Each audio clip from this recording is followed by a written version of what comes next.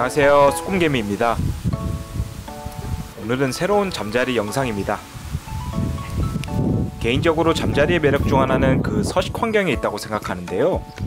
오늘의 주인공은 갈대나 부들 같은 정수식물이 무성한 곳에 서식하는 김무늬 왕잠자리입니다 김무늬 왕잠자리가 본격적으로 활동할 시즌이 되었기에 갈대가 매우 빽빽한 어느 한적한 습지를 찾았습니다 이날 오후 4시쯤 방문하였는데 바람이 굉장히 많이 불어 성쾌한 날씨였습니다. 이런 날씨에는 여유있게 습지를 거닐기만 하여도 힐링이 되더라고요. 이날 저를 제일 먼저 맞이해준 잠자리는 왕잠자리였습니다.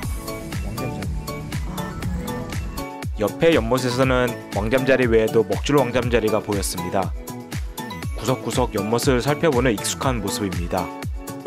이제 본격적으로 김문희 왕잠 자리를 찾으러 갈대숲으로 들어갑니다. 그런데 김문희 대신 넉점박이 잠자리가 보입니다.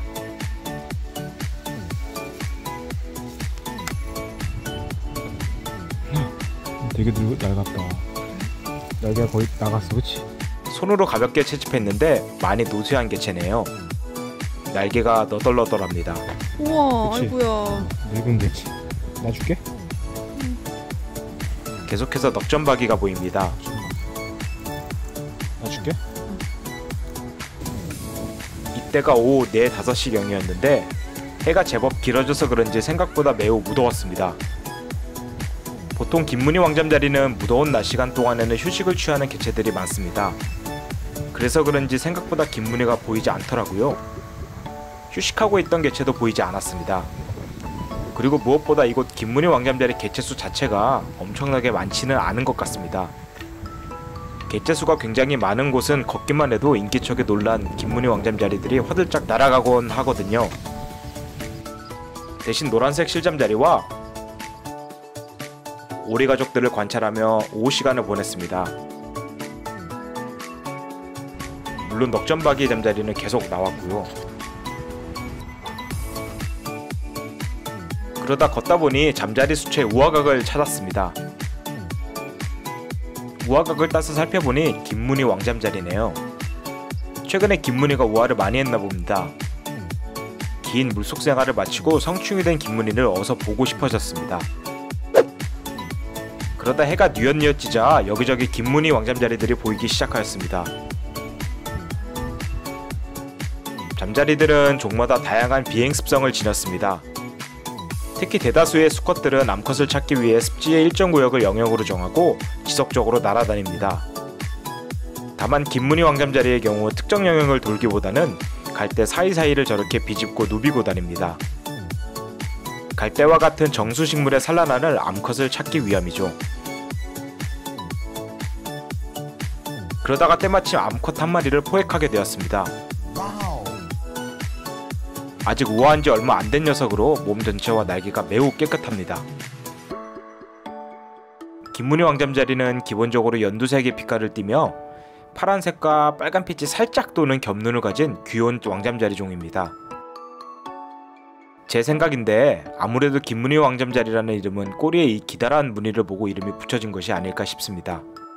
어? 나 준다? 어, 지금 너무 예쁘게 나오는데 연두 안녕히 계세요, 여러분. 튀어나갈라. 오후 6시 반쯤이 되자 어디서 나타났는지 여기저기서 김문희들이 본격적으로 날아다니기 시작합니다. 바로 남자의 사냥 본능을 만족시키는 즐거운 채집의 시간이죠. 녀석들이 가까워지기를 기다리다가 수컷 한 마리를 잡았습니다. 수컷, 수컷. 우와, 봐. 순놈은 겹눈이 파란빛이 좀 더 강하네요. 김문희는 왕잠자리 치고는 사이즈가 작은 편인데 특히나 날개가 작습니다. 윙스팬이 작고 날개가 연약한 편. 음, 개인적으로 생각하기에 날개가 굉장히 잘 구부러지면서 탄력이 있다고 해야 할까요? 어쨌든 이런 날개는 아무래도 좁은 지형을 비집고 날아다니는 김문희 왕잠자리의 습성에 맞게 진화한 듯합니다. 자 이제 본격적으로 잠자리를 잡아보겠습니다.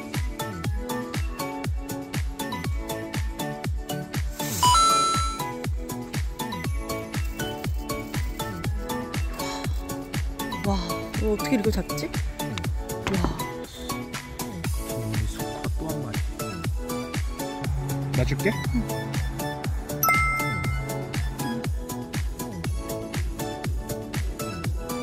데크 쪽으로 한 마리가 또 출현하였습니다.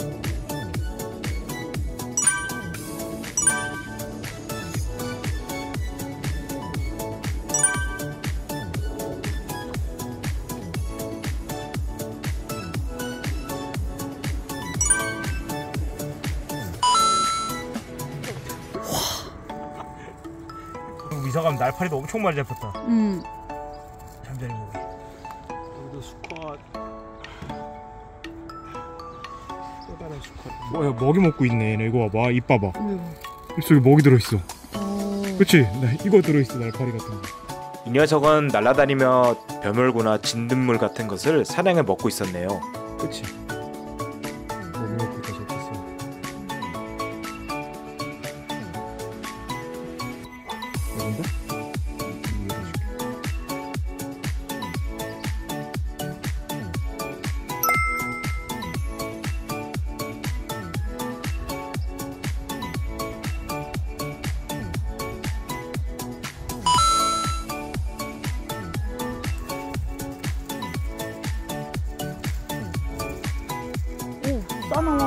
아 물었어.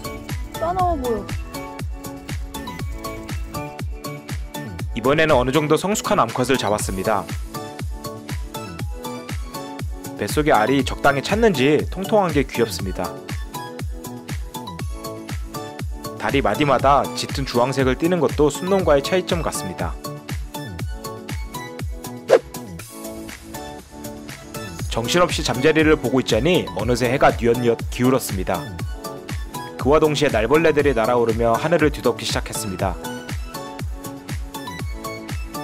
때가 아마 오후 7시 반 정도였는데 갑자기 김문희들의 비행 패턴이 바뀌기 시작한 시간이었습니다.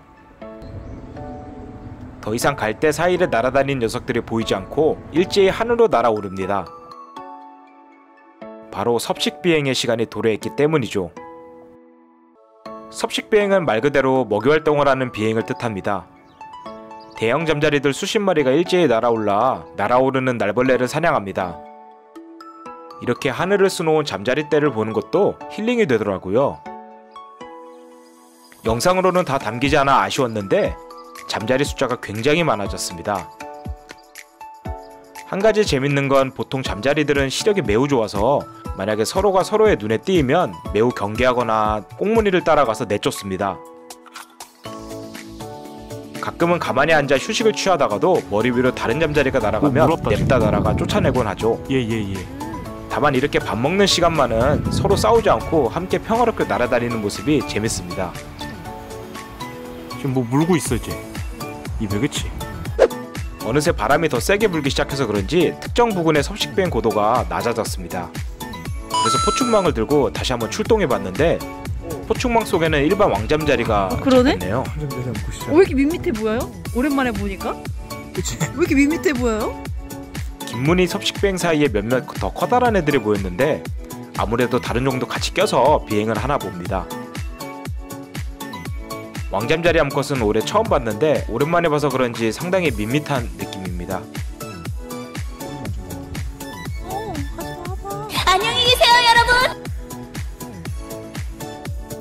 오늘은 김문희 왕잠자리의 생태 활동을 기반으로 관찰하며 황혼 시간에 이루어지는 섭식비행까지 볼 수 있던 날이었습니다.